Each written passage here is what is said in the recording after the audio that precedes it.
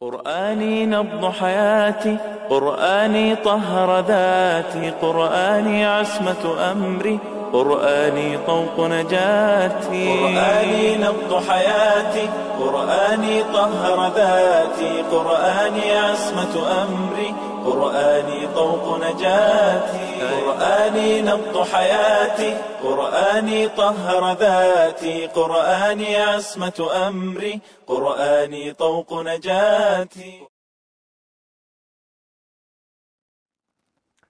السلام عليكم ورحمة الله وبركاته. نحمده ونصلي على رسوله الكريم. أما بعد. In our previous session, we commenced with a discussion about the current situation of the Muslim Ummah. We gave a brief analysis of the situation that the Ummah is facing. We spoke about this unity that is inevitable in the Ummah, yet the need to make an effort to establish unity. And we came to the end of our discussion where we spoke about ISIS and how or what should be our reaction to what we are seeing before us. We would like to conclude uh, this discussion in our session today, inshallah. We also narrated an incident, and the purpose of narrating this incident is that as ordinary Muslims, we need to know that our beloved Prophet wasallam, in his zealousness of saving the ummah from deviation, has given this ummah beautiful guidance. Such guidance that whenever we are faced with a situation, we can look back in our history and search for solutions from our history. We need to understand that a nation that ignores its history is doomed to repeat the wrongs that were committed in the past. I would like to present to you some predictions of the Holy Prophet sallallahu alaihi wasallam that he has made mention of in his ahadith. Jabir ibn Abdullah reports that a person came to the Messenger of Allah sallallahu alaihi wasallam at Jarana on his way back from the Battle of Hunain.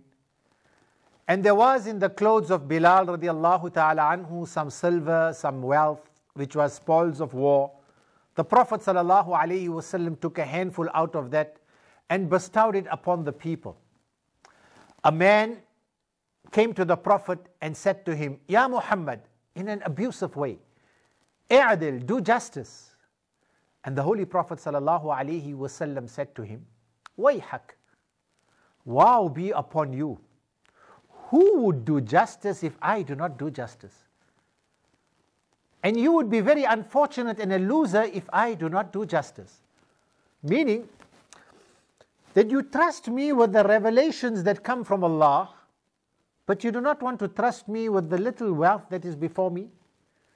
So you would be very unfortunate and a loser if you do not do justice. If I do not do justice.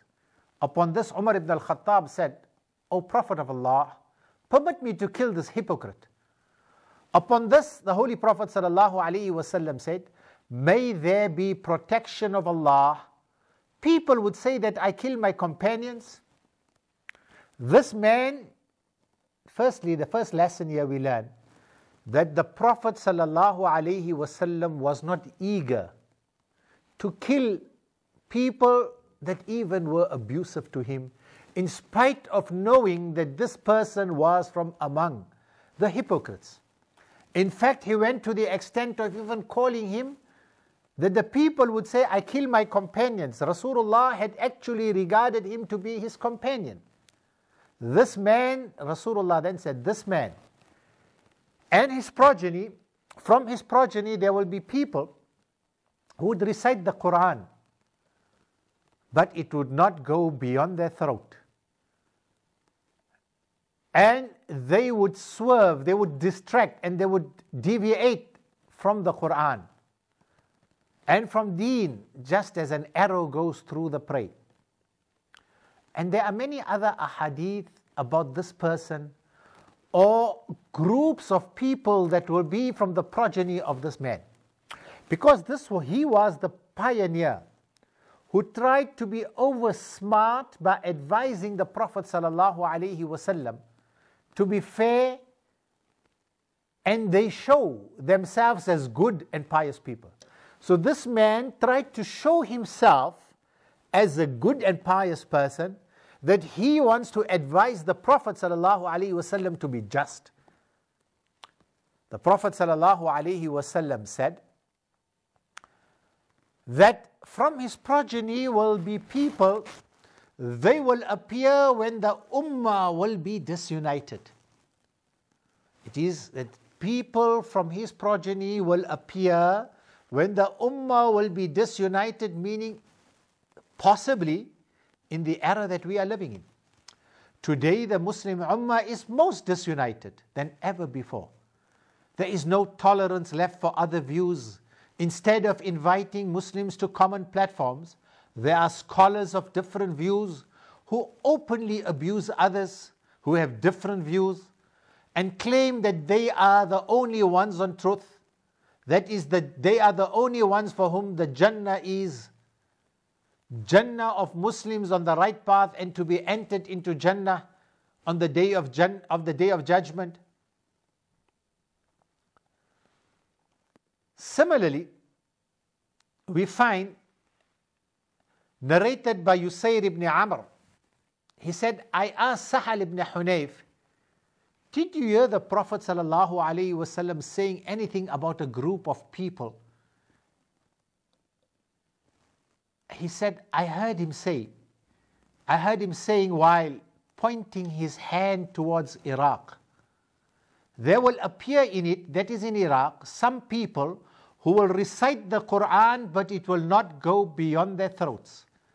And they will go out, that means leave Islam as an arrow darts through the prey's body. Also narrated by Abu Dharr radiallahu ta'ala anhu, who says, that the Prophet ﷺ said, Verily there would arise from my ummah after me a group of people who would recite the Quran, but it would not go beyond their throats. And they would pass clean through their religion just like the arrow passes through the prey. And they would never come back to it. They would be the worst among the creation. These are hadith narrated by Bukhari. Abu Sa'id al Khudri says, There will appear some people among you whose prayer will make you look down upon yours, and whose fasting will make you look down upon yours. They will recite the Quran which will not exceed their throats. Also, Rasulullah said, a description of them is that they will be أحداث الأسنان young young people سفهاء الأحلام people that will have amazing dreams ويقولون خير قول البرية and they will be having the best of speech and slogans and Rasulullah sallallahu alayhi wasallam has also said that outwardly they will be looking good now my beloved friends without passing judgment on any group. On the one hand, we have the beautiful example of Rasulullah sallallahu alaihi wasallam that was not prepared to cause harm to a person that showed total dishonor and disrespect to him. In the incident of the munafiq, Rasulullah even said, do not cause harm to even Abdullah ibn Ubay. He said, Leave him lest the people say that Muhammad kills his companions. In fact, Nabi Kareem sallallahu alayhi wasallam was calling a munafiq his companion. The statement he made was punishable but yet the Prophet did not execute it lest it engenders wrong perceptions which could be exploited as propaganda material. The Prophet ﷺ was even prepared to perform his janazah salah, but was stopped through wahi Allah. If this is the prophetic example, what can one say about a Muslim killing another Muslim who simply does not share the same methodology? We as Muslims sometimes take strong exception when we are labeled as violent and fanatical. But in all honesty, are we guilty? Do we stand rightfully accused? How many of our own have we killed? This is the one aspect that we need to keep in mind. The second aspect that we also need to keep in mind is that the Prophet ﷺ has given us a warning of a description of a people that would come and that would appear during the end of times, especially at the time when the Muslim Ummah will be facing great disunity. Their call would look good. Ahdathul asnan, there will be people that will be young. Sufaha'ul ahlam, they will have great vision. They will have dreams of establishing whatever they wish to establish. يقولون خير قول البرية They will be speaking the best of speech. Their slogans will be beautiful. Now, my beloved friends, these examples that I have presented for you should be a measure to measure our reaction to what we are seeing before us in the world. Stay tuned. Inshallah, in the after the break, we will come to a conclusion of this discussion of ours. طوق نجاتي قرآني نبض حياتي قرآني طهر ذاتي طهر ذاتي قرآني عصمة أمري قرآني طوق نجاتي بسم الله الرحمن الرحيم as I have made mention in the first discussion that we had last week, that the topic that I have chosen is a very sensitive topic. It is a very, very, very sensitive discussion.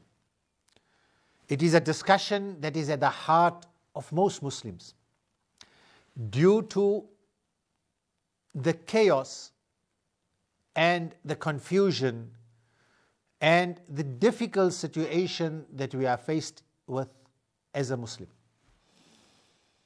My discussion in no way is addressing those people that are standing up to defend their religion, to defend the invasion of their countries, the occupied territories. The discussion with regards to Gaza and Palestine is a very simple discussion. It is a straightforward discussion.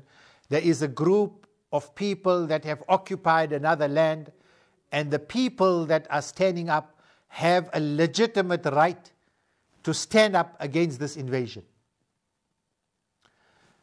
However, the situation in Syria and Iraq is much more confusion. There is very much more confusion, and there is no black and white about it. And in the events that have led up to what we see today, the emergence of a group that seemed to be calling towards establishing a khilafah. On the one hand, we spoke about the nostalgia that people are experiencing that maybe this is what we were all waiting for. Because remembering of the good times of the Ottoman Khilafah. There is also that it is about time that somebody stood up against the West and we want to support them because here's a group that apparently seems to be standing up against the West. There are also those that are looking at this whole situation with circumspect and are also saying this might be a conspiracy. They might be supported by our own enemies. Allah knows best. However, before the break, I had given you examples from the ahadith of Rasulullah sallallahu wasallam, the actions and the seerah of Rasulullah regarding his enemies. And I've also given you about certain predictions of the Prophet sallallahu wasallam and descriptions of people that will come at the time which is close to the end of times and especially at the times when the Muslims are faced with this disunity. Now comes the crucial question What do you and I do? The fact of the matter is that we are in an unfortunate situation of not knowing. All the news and information that you and I are receiving, be it the social media, be it the other medias, Western or whatever,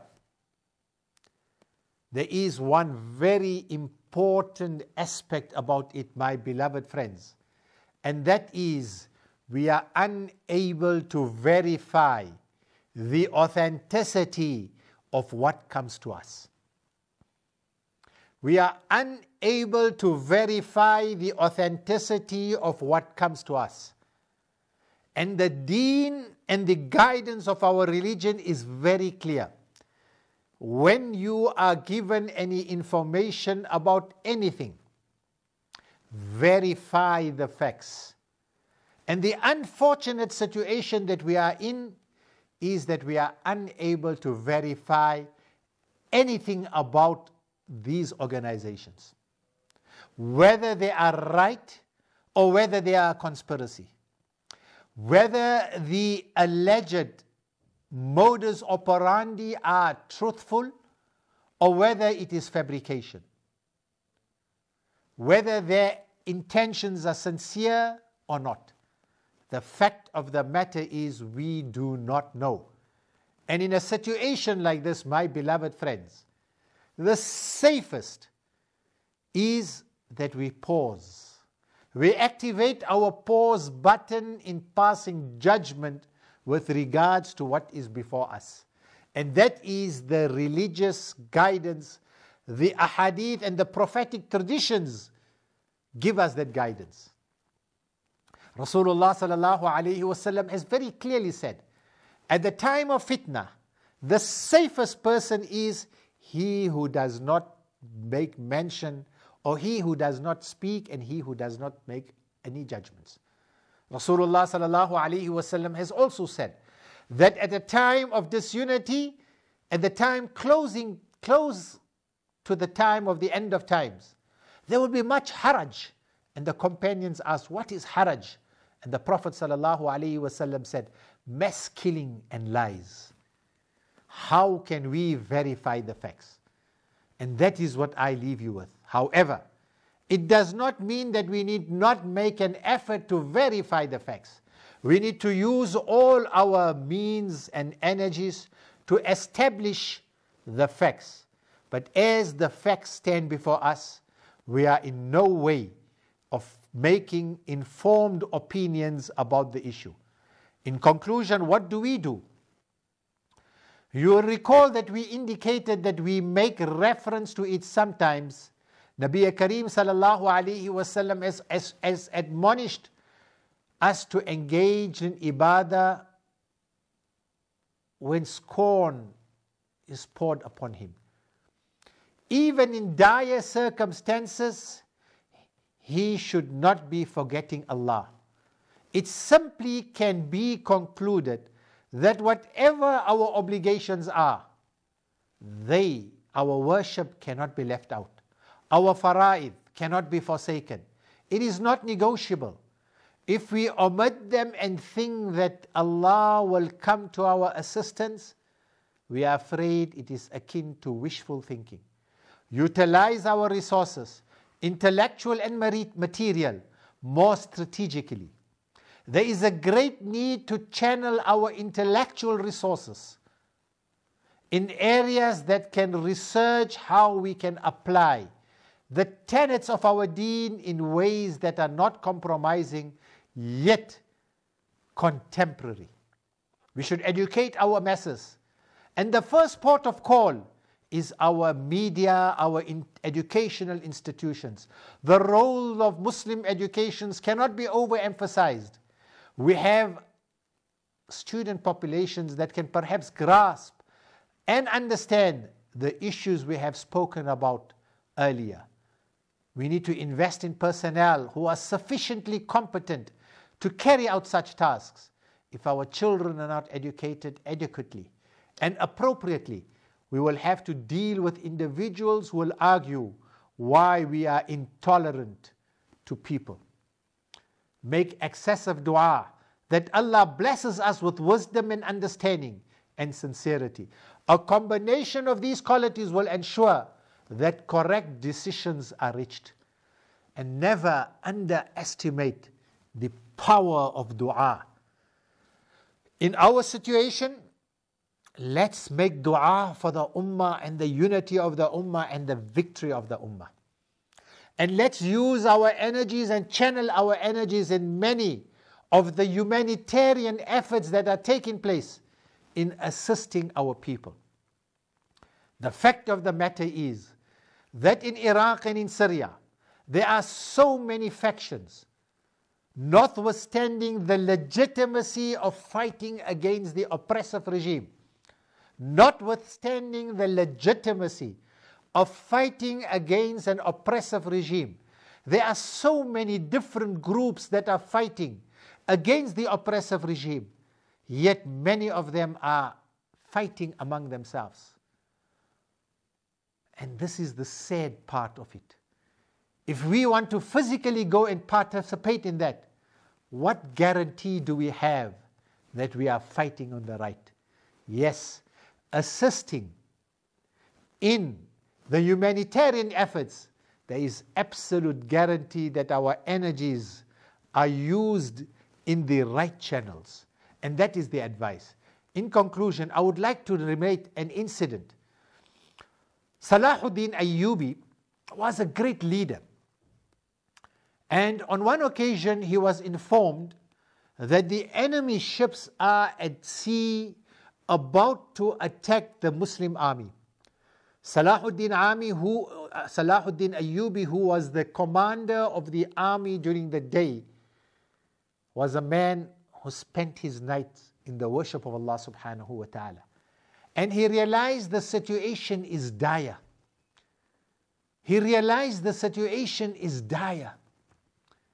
And the night he went into the masjid and he remained in the worship of Allah subhanahu wa ta'ala and crying before Allah to assist the Muslims against this army that has massed its all its energies to fight the Muslims. During the night, at the time of Tahajjud, during the Fajr Salah, after the Fajr Salah, up until the Ishraq Salah, he cried before Allah subhanahu wa ta'ala.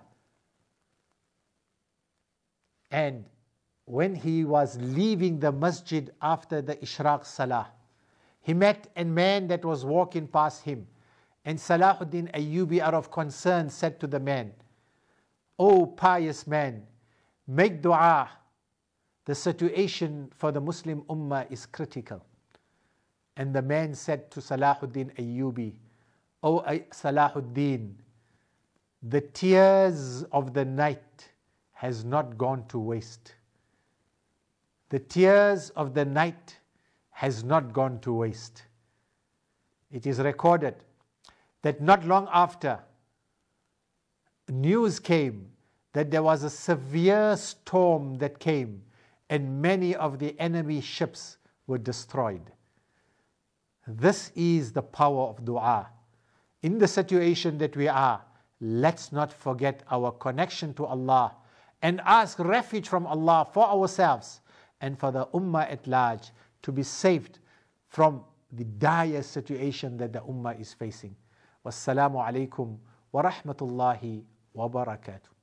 قرآني نبض حياتي قرآني طهر ذاتي قرآني عصمة أمري قرآني طوق نجاتي قرآني نبض حياتي قرآني طهر ذاتي قرآني عصمة أمري قرآني طوق نجاتي قرآني نبض حياتي قرآني طهر ذاتي قرآني عصمة أمري قرآني طوق نجاتي قرآني نبض حياتي قرآني طهر ذاتي قرآني عصمة أمري.